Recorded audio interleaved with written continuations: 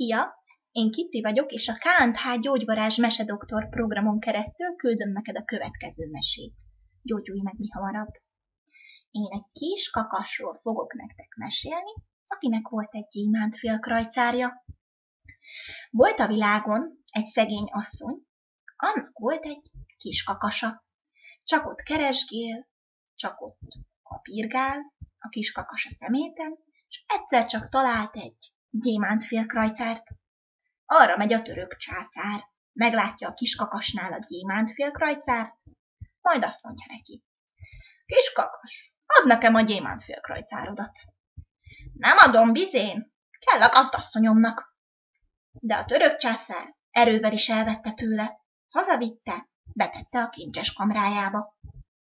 A kiskakas megharagudott, felszállott a kerítés tetejére, elkezdett kiabálni. Török császár!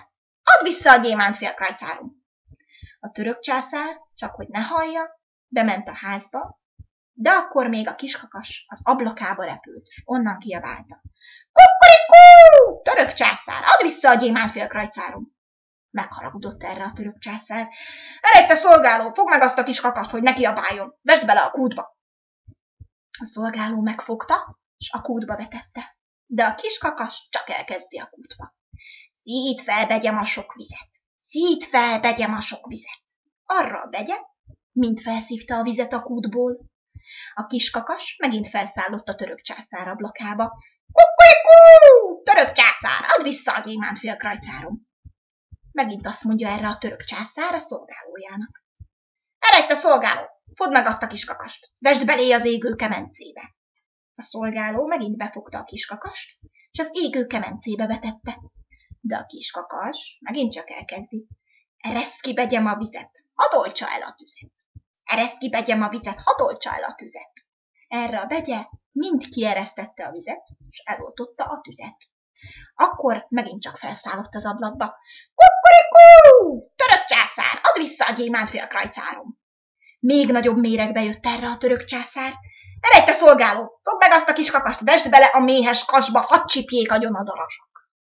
A szolgáló belevetette a kis kakast a méhes kasba. Ott megint elkezdi a kis kakas. Szít fel, begyem a darást. Szít fel, begyem a darást. Arra a begye, mint felszitta a darást. Akkor megint felszállott a török császár ablakába. Kukurikú! Török császár, add vissza a gyémánt félkrajcárom! Már a török császár nem tudta, mit csináljon vele. Eredj te szolgáló, hozd ide azt a kis kakast. Hadd tegyem ide a bő bugyogóm fenekébe. Megfogta a szolgáló a kis kakast. A török császár beteszi a bő bugyogója fenekébe. Megfogja a szolgáló, de a kis kakas megint csak elkezdi. Ereszt ki begyem a darást. Hadd csípje meg a farát. Ereszt ki begye a darást, hadd csípje meg a farát. A begye mind kieresztette a darást, és azok jól-jól megcsipkedték a császár farát. Felugrik erre a török császár. Jaj, jaj, apránya, egye meg ezt a kis kakast! Vigyétek hamar a kincses kamrába, hadd keresse meg a maga gyémánt félkrajzárát. Bevitték a kis kakast a kincses kamrába, ott megint elkezdi a maga nótáját. Szít fel, begyem a sok pénzt. Szít fel, begyem a sok pénzt. Erre a begye mind felszívta a török császár három kát pénzét. A kiskakas hazavitte, odaadta a gazdasszonyának, gazdagasszony lett belőle, még máig is él, ha meg nem halt.